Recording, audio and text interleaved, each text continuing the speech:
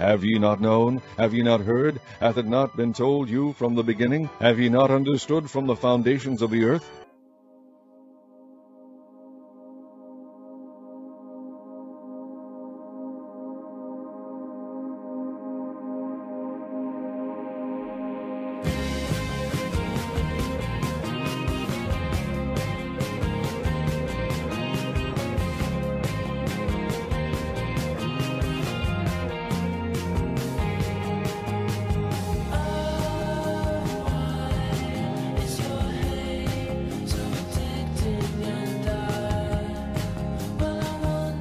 It is he that sitteth upon the circle of the earth, and the inhabitants thereof are as grasshoppers. The circle of the earth, the circle of the earth.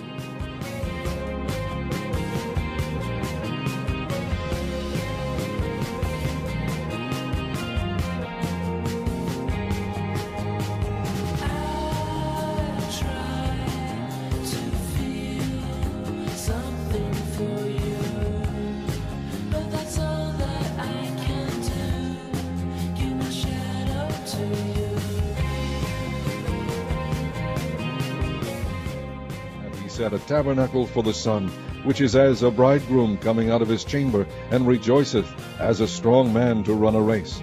His going forth is from the end of the heaven, and his circuit unto the ends of it, and his circuit, and his circuit. There is nothing hid from the heat thereof.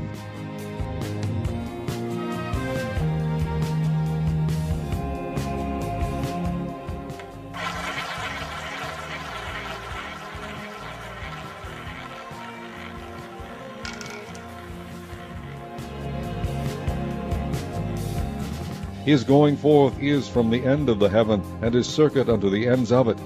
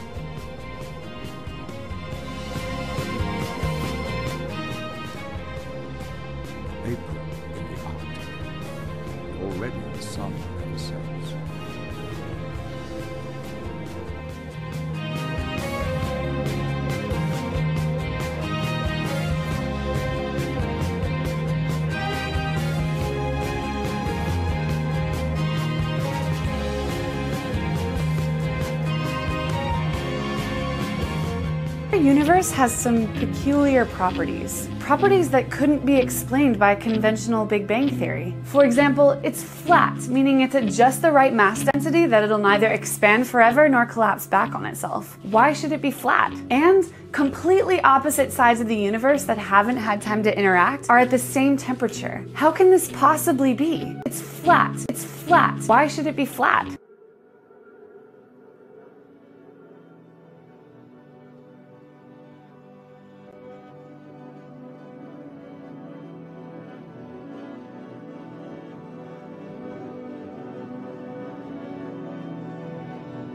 How can this possibly be? Hast thou with him spread out the sky, which is strong and as a molten looking glass?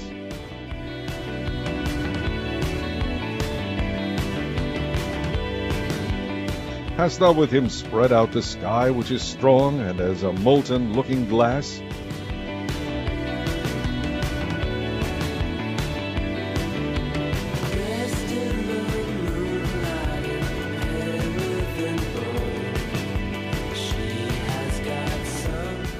The whole universe is outside us. Look at the stars. Some of them are a million light years away. They are out of our reach forever. What are the stars? said O'Brien indifferently. They are bits of fire a few kilometers away. We could reach them if we wanted to, or we could blot them out. The Earth is the center of the universe. The sun and the stars go round it. The Earth is the center of the universe. The sun and the stars go round it.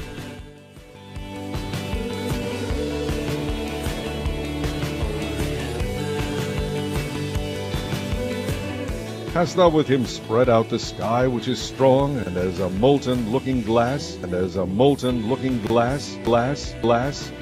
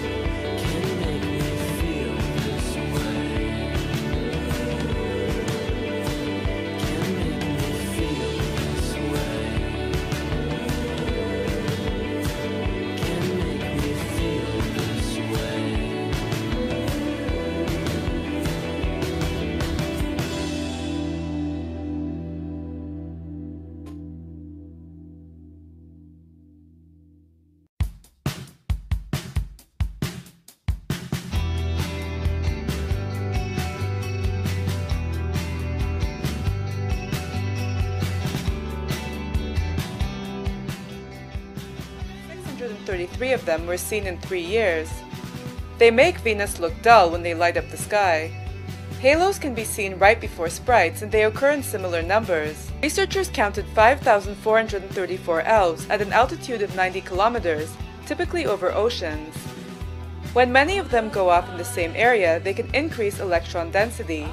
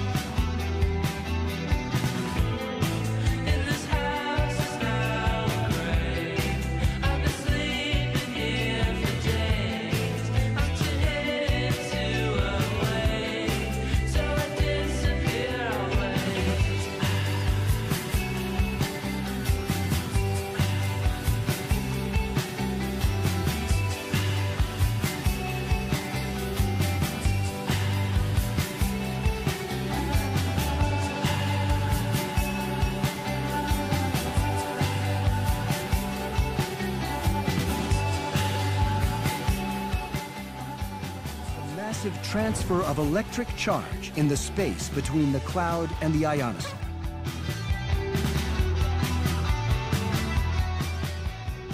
High Frequency Active Auroral Research Program. It is a field of antennas on the ground in southeastern Alaska, so linked together as to work as one giant antenna. It's 360 antennas. Each can generate 10,000 watts, 3.6 million watts. But they're not broadcasting out, they're broadcasting up. When HAARP is fired up, all those antennas shoot powerful radio waves into the ionosphere, the uppermost part of the atmosphere. They literally heat it. They create irregularities that allow the ionosphere to bounce powerful radio signals back to Earth. Officially, it's only in the research stage. Officially, that allow the ionosphere to bounce powerful radio signals back to Earth. Bounce powerful radio signals back to Earth. Bounce powerful radio signals back to Earth.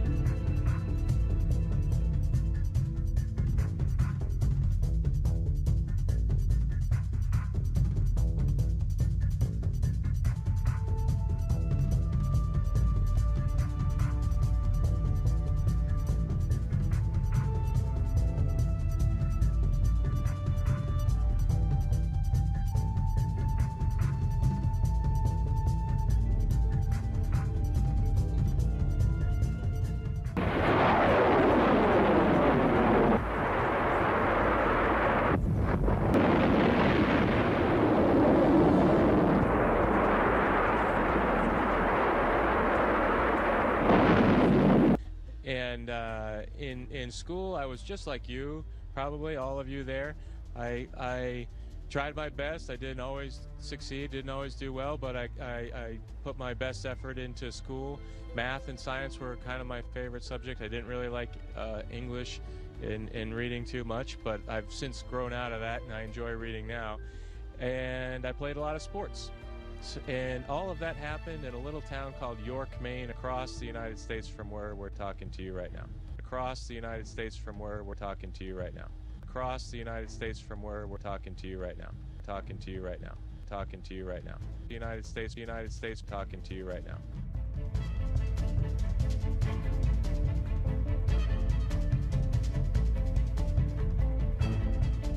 Dr. Zeitman doesn't agree with us. He believes that humans will never travel in space. No matter what they tell you, man's inadequate body will never be able to leave the Earth. No matter what they tell you, no matter what they tell you, Verify ready to resume count and go for launch. Say go, no go. OTC. Go.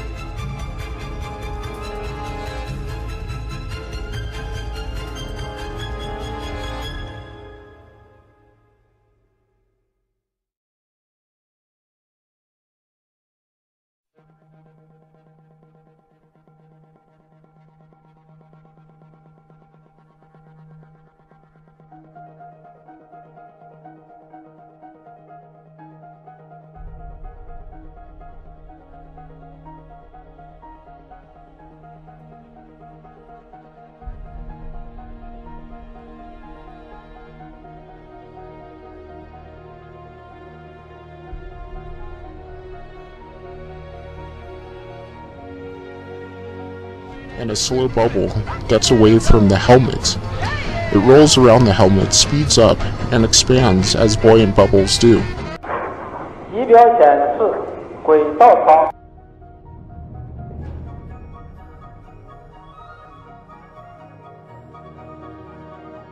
Party seeks power entirely for its own sake.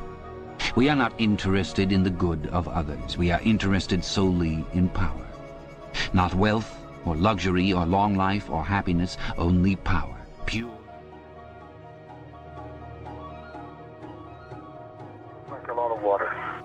Water in his helmet?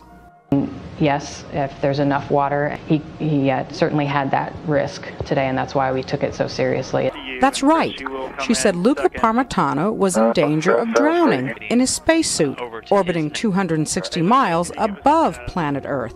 An astronaut risked drowning inside his own helmet during a spacewalk yesterday. And today, they are digging deep into that suit to see what the problem was. We are the priests of power. The second thing for you to realize is that power is power over human beings. Over the body, but above all, over the mind. Over the mind. Over the mind.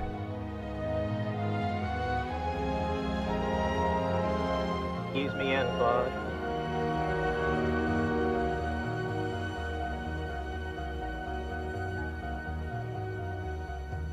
Astronaut Luca Parmitano reported water inside his helmet.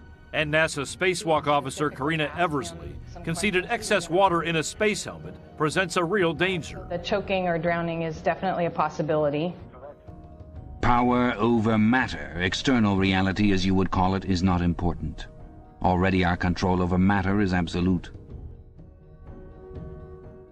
Italy's Luca Parmitano was in the first hour of what was supposed to be a six hour walk outside the station when he began to feel something like water filling up in his suit.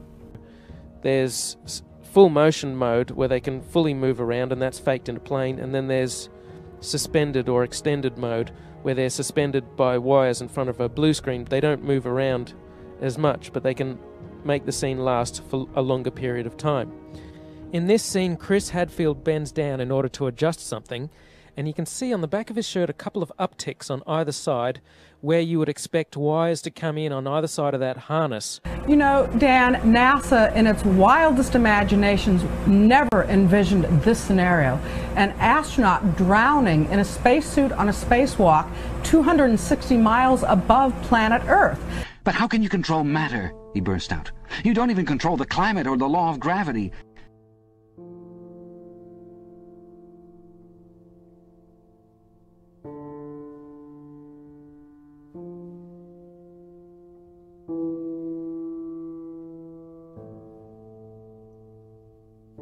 We control matter because we control the mind.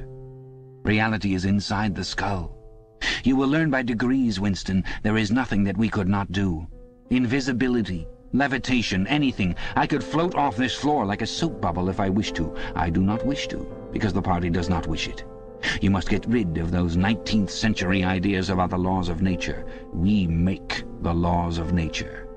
No matter what they tell you, man's inadequate body will never be able to leave the earth. No matter what they tell you, no matter what they tell you, But you do not! You are not even masters of this planet! Also, notice that Chris Hadfield has the habit of bringing his knees up. That's because his stomach muscles aren't as strong. He doesn't have as much midriff strength as some of the others who are able to elongate their body and make the hoax look a bit more realistic. He's constantly bringing his knees up because he's not as strong as the others. Occasionally, though, the others bring their knees up too.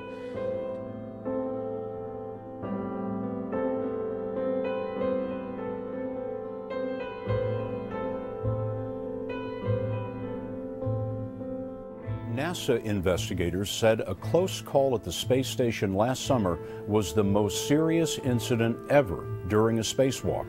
It should have been prevented, they said. An Italian astronaut was in danger of drowning because of a leak in the cooling system of his spacesuit. Push me against the structure once again. Yes, and proceed this way. Yes, and proceed this way. Yes, and proceed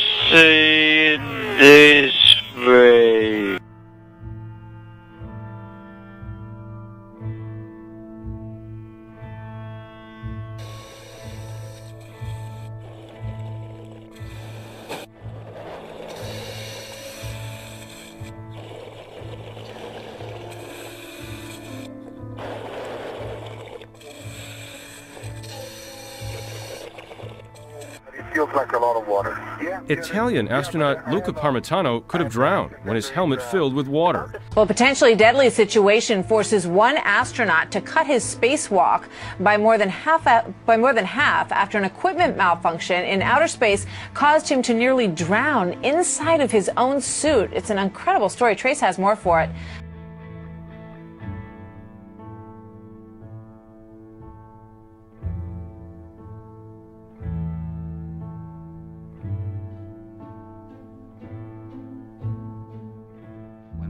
Navigate the ocean or when we predict an eclipse, we often find it convenient to assume that the Earth goes round the Sun and that the stars are millions upon millions of kilometers away. But what of it? Do you suppose it is beyond us to produce a dual system of astronomy? The stars can be near or distant according as we need them. Do you suppose our mathematicians are unequal to that? Have you forgotten doublethink?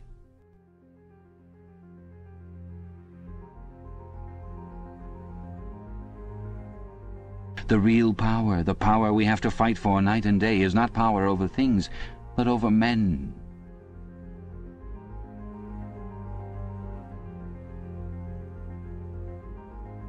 Power is in tearing human minds to pieces and putting them together again in new shapes of your own choosing. Do you begin to see then what kind of world we are creating? God is power.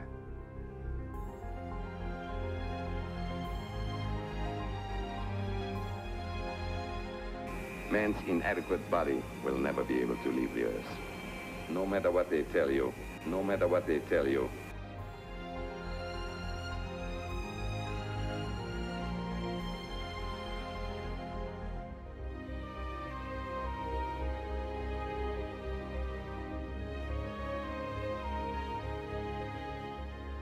in the sight of Israel, Son, stand thou still upon Gibeon, and thou moon in the valley of Ajalon.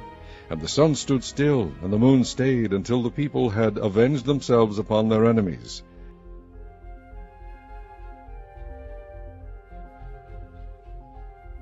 The sun and moon stood still in their habitation. At the light of thine arrows they went.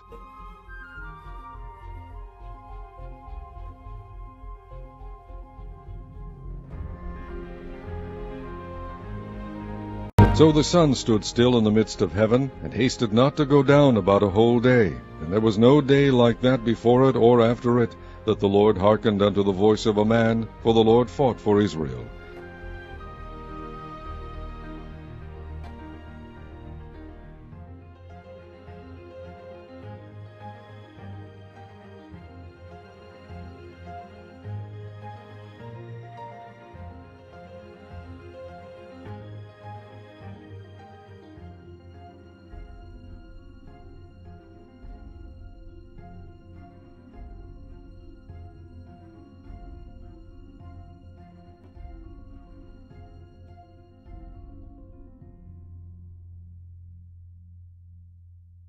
But the whole universe is outside us.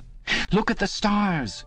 Some of them are a million light years away. They are out of our reach forever. What are the stars? said O'Brien indifferently. They are bits of fire a few kilometers away. We could reach them if we wanted to, or we could blot them out. The Earth is the center of the universe. The sun and the stars go round it.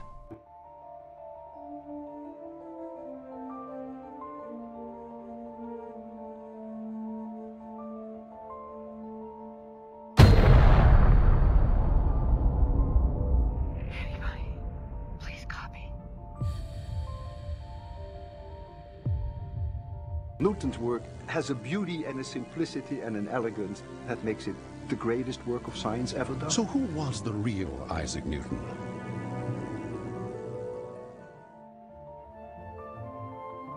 I mean, gravity, of course, is something that have, uh, well, many people have already thought about it. it. It's something that we see every day, and it's not like it's uh, not existent in our every life. But what I mean by that it's an illusion is that uh, one would eventually like to know where it comes from, an explanation. Uh, up to now, we have, uh, uh, well, descriptions. I mean, Newton, of course, is the, the one famous for, for first writing down a theory of gravity.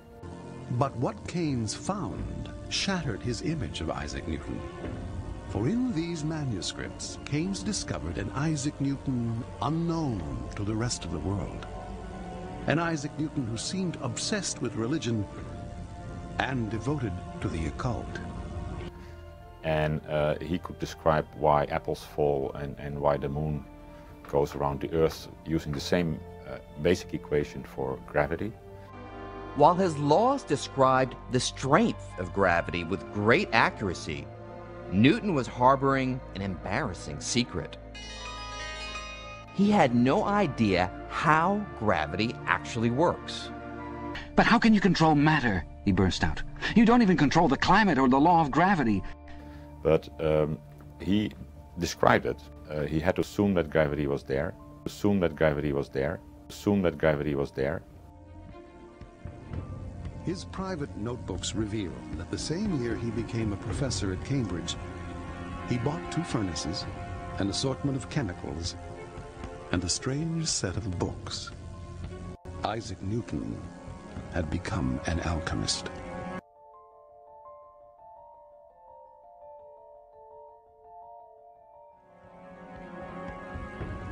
Alchemy is an ancient and secret practice with roots in the Middle East. By carrying out lengthy and complex chemical procedures, alchemists tried to produce a magical substance called the Philosopher's Stone. The Philosopher's Stone was so potent that even a small quantity was said to perform miracles, curing ailments, conferring immortality, and transforming ordinary metals like lead into pure gold.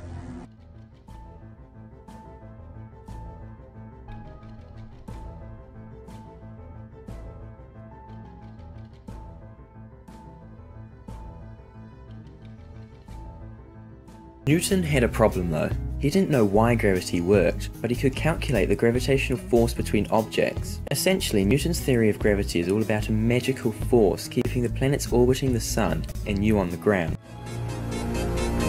Here was a man who understood more than anyone alive about the physical sciences, indulging in magic.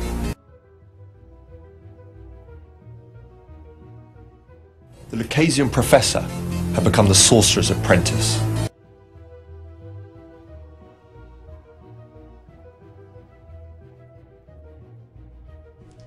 Newton thought ancient temples also held secrets only chosen people like himself could unravel. He is known today as a sort of a, a high priest of the age of reason. But how can you control matter? He burst out. You don't even control the climate or the law of gravity. He could no longer admit to his true religious beliefs. They became a part of his increasingly secret, private world. We control matter because we control the mind. Reality is inside the skull. Newton was fascinated by the idea of matter changing its very nature. We control matter because we control the mind. He had no idea how gravity actually works.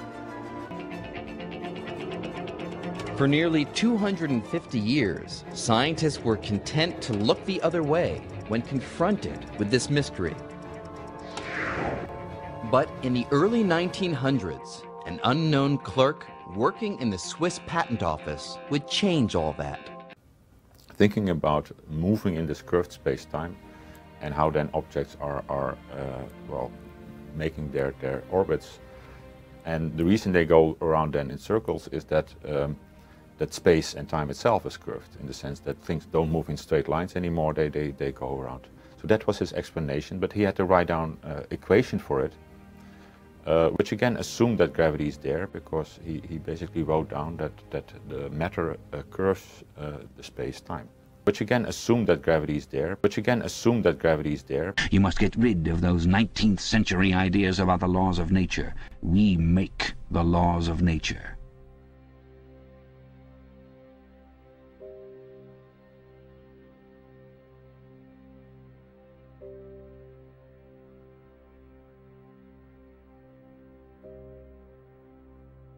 Isaac Newton had become an alchemist. We make the laws of nature. A high priest of the age of reason. Indulging in magic. Newton's theory of gravity is all about a magical force. Alchemists tried to produce a magical substance.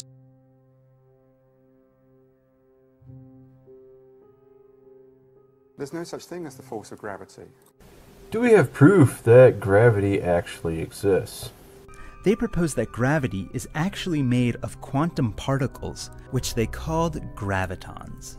Anywhere there's gravity, there would be gravitons on Earth, in solar systems, and most importantly, in the minuscule, infant universe where quantum fluctuations of gravitons sprung up, bending pockets of this tiny spacetime. But if gravitons are everywhere, why can't we see them? Unfortunately, a single graviton is too measly to detect, so we had no evidence of them. So we had no evidence of them. In physics, the graviton is a hypothetical, hypothetical, hypothetical elementary particle that mediates the force of gravitation in the framework of quantum field theory. If it exists, the graviton is expected to be massless and must be a spin-2 boson. Gravitons are the as-yet undiscovered force carriers for gravity. If it exists, if it exists. A graviton particle is actually a theoretical particle. Nobody has ever seen it or measured it.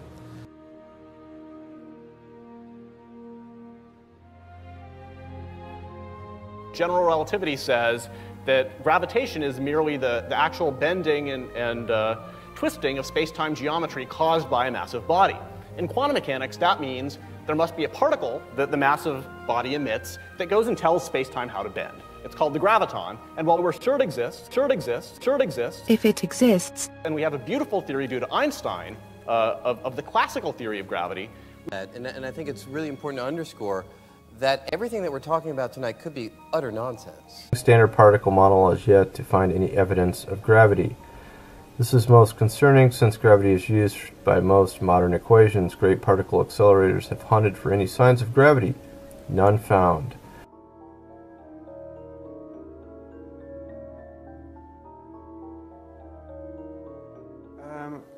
Hate to say this, but um, there's no such thing as the force of gravity. There are several ways to disprove gravity experimentally. Once, and there's actually been uh, experiments that have shown things that don't make sense if there is gravity. One simple experiment shows there is no gravity the helium balloon. It rises. Now, is this possible? Classical mechanics shows that the force equals a constant of gravity multiplied by the mass of the object multiplied by the mass of the object 2, divided by the distance between the two masses raised by the second power. With this logic, the mass of the Earth is so great the helium balloon would have no choice but to be attracted to the Earth. But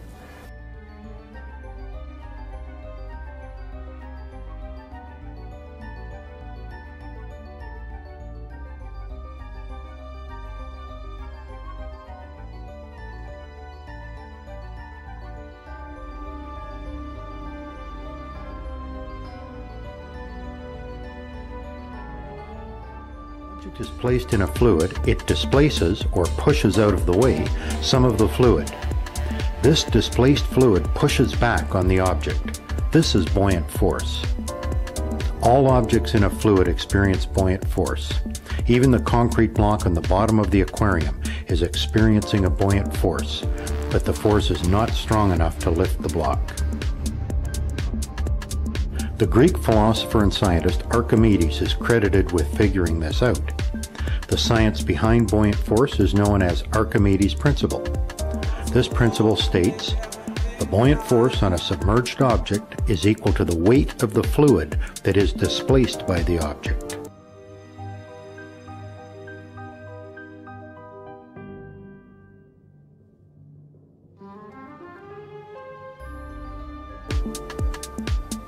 This means that the denser a floating object is, the more water it will displace. An object with a density of 0.5 grams per cubic centimeter will float only partly submerged, while an object with a density of 0.9 grams per cubic centimeter will float almost completely submerged.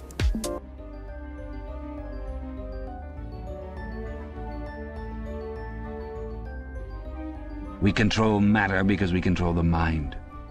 Reality is inside the skull.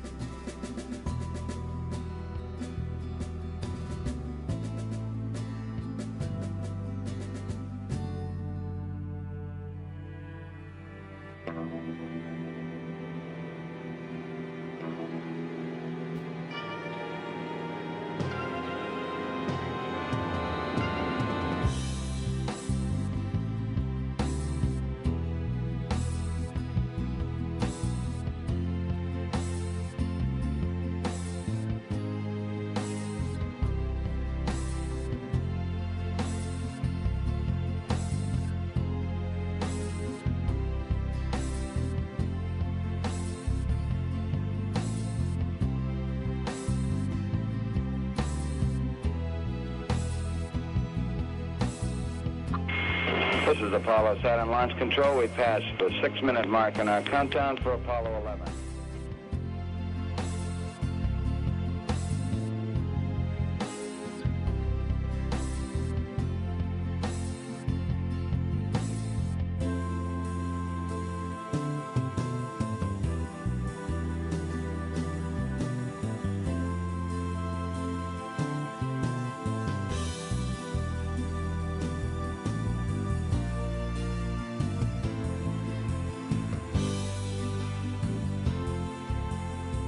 How art thou fallen from heaven, O Lucifer, son of the morning? How art thou cut down to the ground, which didst weaken the nations?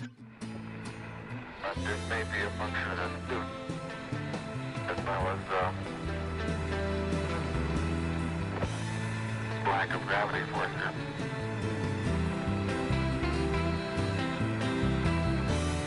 Hello, Neil and Buzz. I'm talking to you by telephone from the Oval Room at the White House. And this certainly has to be the most historic telephone call ever made from the White House. And the great dragon was cast out, that old serpent called the devil and Satan, which deceiveth the whole world. I just can't tell you how proud we all are of what you have done. For every American, this has to be the proudest day of our lives. And for people all over the world, I am sure that they too join with Americans in recognizing what an immense feat this is. For thou hast said in thine heart, I will ascend into heaven, I will exalt my throne above the stars of God, I will sit also upon the mount of the congregation in the sides of the north.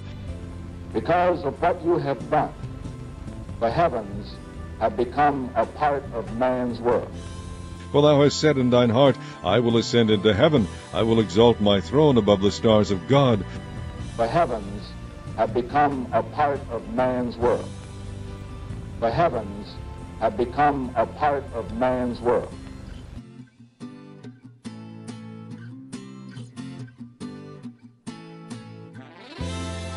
And they had a king over them, which is the angel of the bottomless pit, whose name in the Hebrew tongue is Abaddon, but in the Greek tongue hath his name Apollyon. But in the Greek tongue hath his name Apollyon.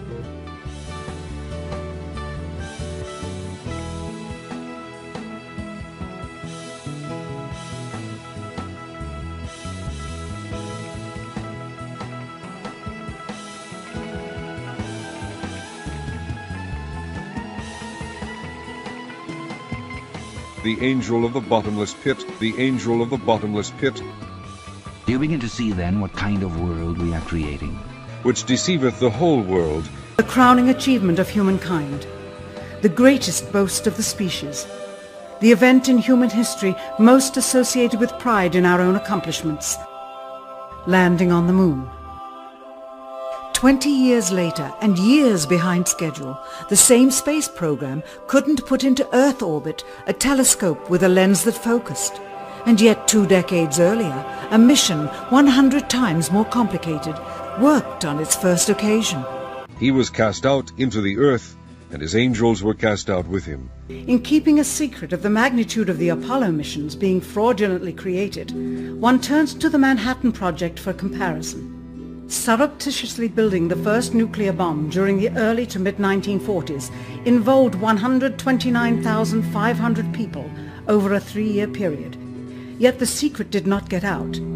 A quarter century later, the art and technology of espionage inevitably improved, narrowing dramatically the number of players in the know of a large clandestine operation. which deceiveth the whole world, which deceiveth the whole world, Just one year before the first mission to the moon, NASA launched the Tetra satellite, specifically designed to simulate flight data coming from the moon, so that the ground crews could rehearse the landing, much as the astronauts did in their own simulations. Had it not supposedly fallen back to Earth, all that would have been needed during the actual flight would be a repeat of one of these computer programs, with a few original variations, transmitted to the satellite for rebroadcast to Houston. Scores of computers and their deceived operators on the ground would then receive prearranged information, including the alleged location, altitude and fuel consumption of the spacecraft, as if it were descending to the moon's surface. Put on the whole armor of God, that ye may be able to stand against the wiles of the devil. The fact that the Apollo program was so departmentalized, with various construction and test sites around the country, meant that only a few people saw the whole picture. And for the first time ever, there was no independent press coverage of such an historical event. Whatever pictures and sound were distributed to the public was strictly controlled and previewed by the federal government. For we wrestle not against flesh and blood, but against principalities, against powers, against the rulers of the darkness of this world, against spiritual wickedness in high places. In fact, in the more than 30 years since the event, aside from NASA's initial press conference and the occasional brief anniversary remarks where few questions were permitted, he has never given one on-camera interview to anyone. Woe to the inhabitants of the earth and of the sea, for the devil is come down unto you, having great wrath, because he knoweth that he hath but a short time.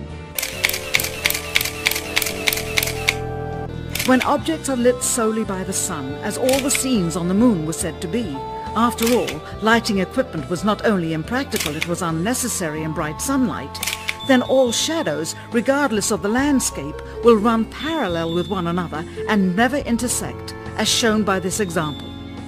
Remember ye not that when I was yet with you, I told you these things? It is clear that these scenes were lit with artificial light. These shadows, which are cast at different angles, are evidence that a second light source is being used. And now ye know what withholdeth that he might be revealed in his time. For the mystery of iniquity doth already work. Only he who now letteth will let, until he be taken out of the way. And then shall that wicked be revealed, in addition, the sun would not cause an isolated hotspot like this. Only an artificial light would. Even him, whose coming is after the working of Satan with all power and signs and lying wonders. Again, intersecting shadows and another hotspot. And again. And again. It is simply impossible for this picture to have been taken with sunlight on the moon with all power and signs and lying wonders, lying wonders. Here a crosshair, which was burned directly into the image from the film plate, and thus should always appear on top of the objects in the photograph, appears behind the object in this scene, clearly revealing a composite of two pictures into one. And with all deceivableness of unrighteousness in them that perish, because they receive not the love of the truth. And what about stars? On the moon, with no atmosphere, they must have been quite a sight to behold. Yet there is seldom any mention of them, if ever, by any of the astronauts on any of the missions. Undoubtedly creating a mural with all the constellations properly placed in the sky would have been virtually impossible to create accurately, much less realistically. A competent amateur astronomer would have been able to call attention to the slightest error in measurement. The answer? not to talk about the stars, ever. In their post-flight press conference, it was the only question to which Neil Armstrong responded with an absence of memory. When you looked up at the sky, could you actually see the stars and the solar corona in spite of the glare? We were never able to see stars from the lunar surface or on the daylight side of the moon by eye without looking through the optics. Uh, I don't recall during the period of time that we were photographing the solar corona what, what stars we could see. I don't remember seeing any. Years later, though, Michael Collins would remember seeing the elusive stars and wrote about them in Expeditions to the Moon. It seems his memory improved the older he got. And for this cause God shall send them strong delusion, that they should believe a lie, believe a lie. Then there's the flag, blowing in the wind, at least twice, on the atmosphereless moon. This rare clip, attained decades ago, was never re-released with the inevitable increase in experience and scrutiny. Lying wonders, lying wonders. It is clear from these rarely seen color television pictures that the crew of Apollo 11 brought a high-resolution color video camera with them on their mission. Yet the only pictures broadcast live from the moon's surface were these from a low-definition black and white camera. In fact, the networks complained because in addition to this, they were forced to shoot the images second generation off of a projection TV of the technology of 30 years ago and were not even allowed to take a direct feed, which further degraded the quality and clarity of the images. That they should believe a lie. We now realize that perhaps the reason Neil Armstrong has never given an on-camera interview is because he doesn't want to lie anymore. That they should believe a lie. NASA's highest-ranking official, James Webb, resigned without explanation just days before the first Apollo mission. Why, when he was on the threshold of achieving the greatest accomplishment of his career? All three Apollo 11 astronauts also resigned shortly after their return.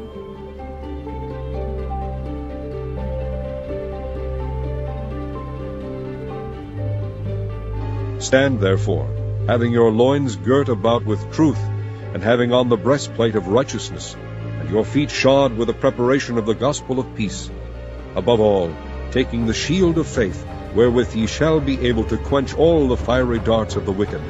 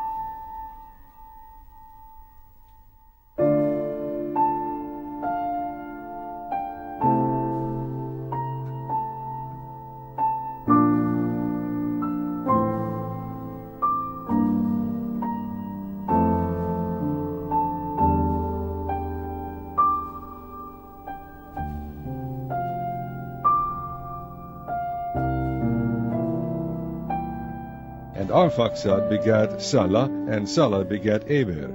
And unto Eber were born two sons. The name of one was Peleg, for in his days was the earth divided. For in his days was the earth divided.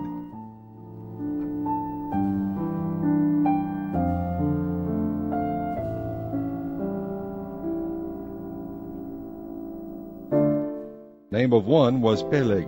Name of one was Peleg.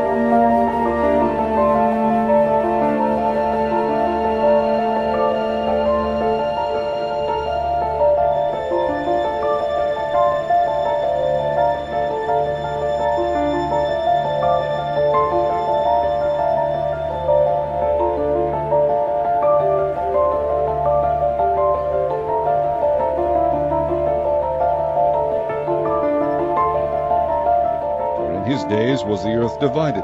For in his days was the earth divided.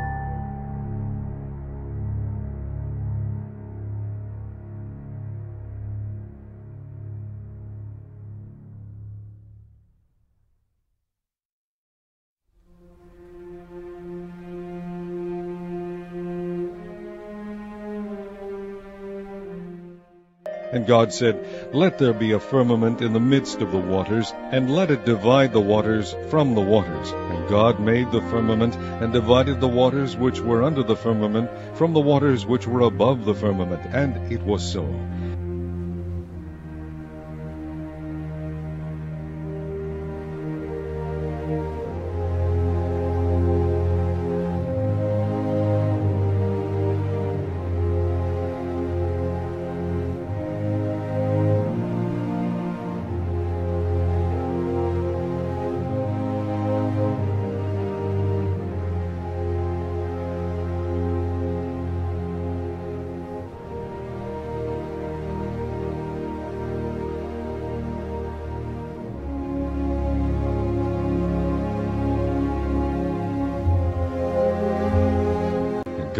Called the firmament heaven, and the evening and the morning were the second day. And God said, Let there be lights in the firmament of the heaven to divide the day from the night, and let them be for signs and for seasons and for days and years,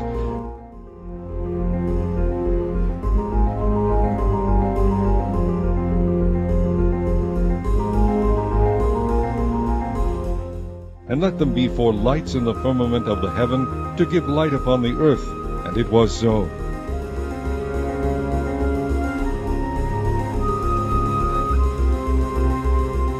God made two great lights, the greater light to rule the day, and the lesser light to rule the night. He made the stars also.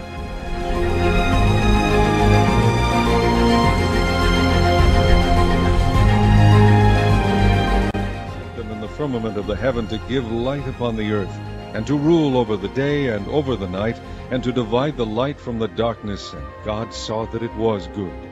And the evening and the morning were the fourth day.